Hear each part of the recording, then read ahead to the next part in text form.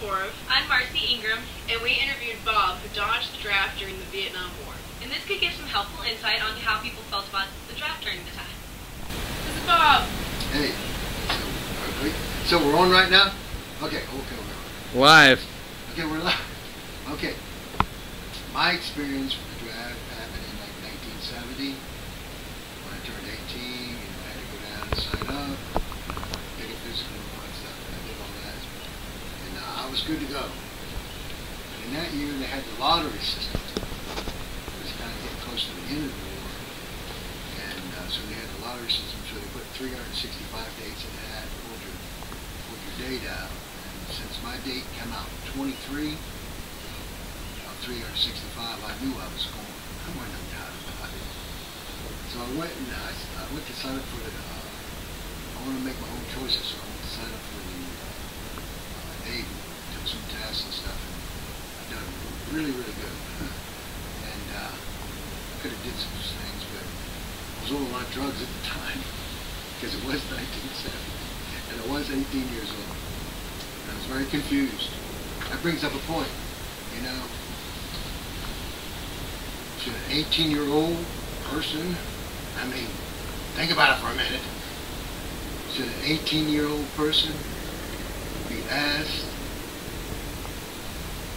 given a gun sent to another country they kill somebody he doesn't know? I mean, it's pretty fucked up. I'm sorry.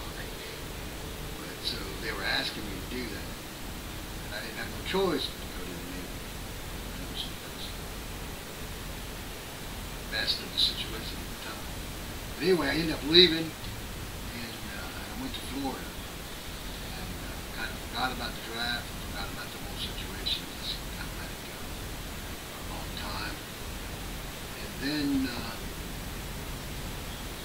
the FBI came in Miami and arrested me and put me in jail.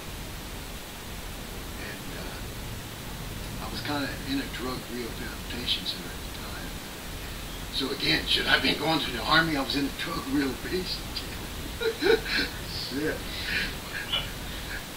But uh, because of the letters that were written and stuff between the place I was at and stuff, sent me to see a psychiatrist. Serious as hell. And they sent me to take my physical over again too.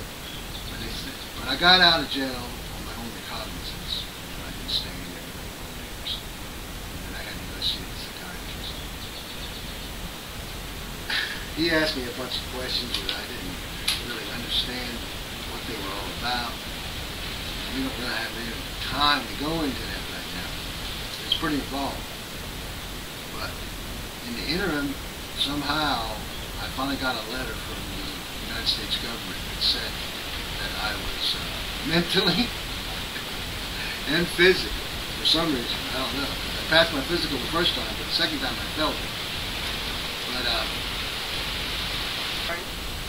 so anyway, so they said I was mentally and physically unfit for the United States Army.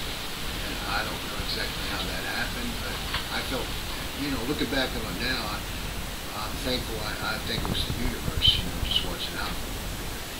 I told you what kind of mental state I was in. I almost killed myself twice when I was like 17. I was supposed to go to the Army.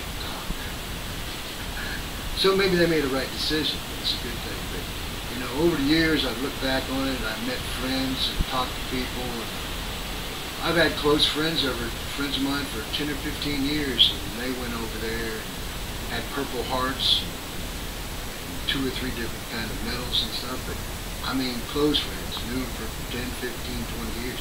They never talked to me about it. They didn't want to talk about it. They got medals for it. Okay, well, thank you so much for having this interview with us. Okay. Thank you, Bob. You did a good job.